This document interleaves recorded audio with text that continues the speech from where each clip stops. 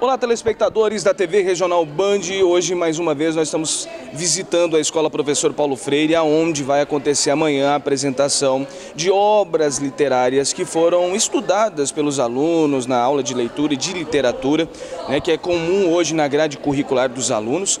E hoje aconteceu a apresentação dos cenários que estão montados dentro das salas de aula né, em cada sala de aula, dois cenários, assim como você está acompanhando agora aí nas imagens. Nós vamos falar com um dos professores idealizadores desse evento, né, que faz parte da coordenação.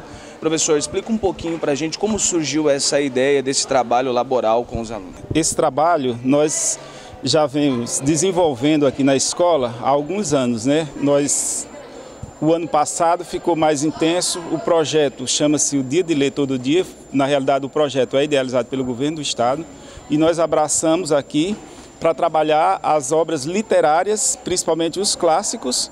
E nós fazemos assim: montamos os cenários em sala de aulas e no dia seguinte nós apresentamos no palco algumas obras. Além das obras que são estudadas nos livros, nós também pegamos algumas obras é, teatrais para incrementar, para dar uma mudada também.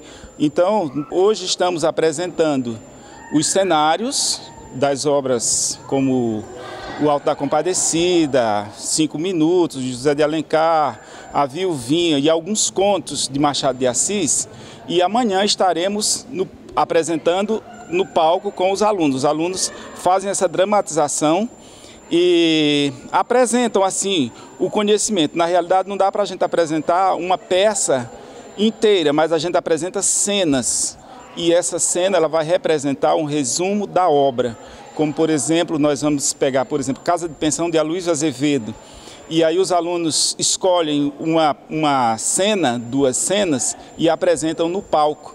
E dá uma mobilidade também na questão da literatura, porque a literatura ela é de suma importância para o desenvolvimento linguístico e vocabular do aluno. Então é isso que nós estamos fazendo aqui na escola. Tem outros projetos também que serão desenvolvidos. O projeto Excelência, que tem uma culminância lá em novembro. E esse trabalho que nós estamos fazendo agora, ele vai sustentar, vai dar um suporte para a culminância do Excelência que acontece em novembro, aqui em nossa escola. Muito bem. O que nós vemos aqui, professor, né, na nossa visita à escola de vocês, é esse trabalho em conjunto, né?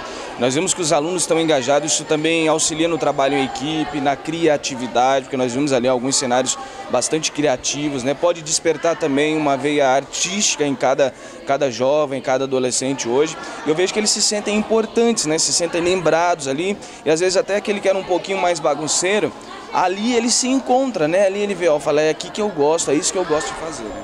Então, é muito importante a gente falar sobre essa questão do engajamento dos colegas professores, todos participam de alguma forma.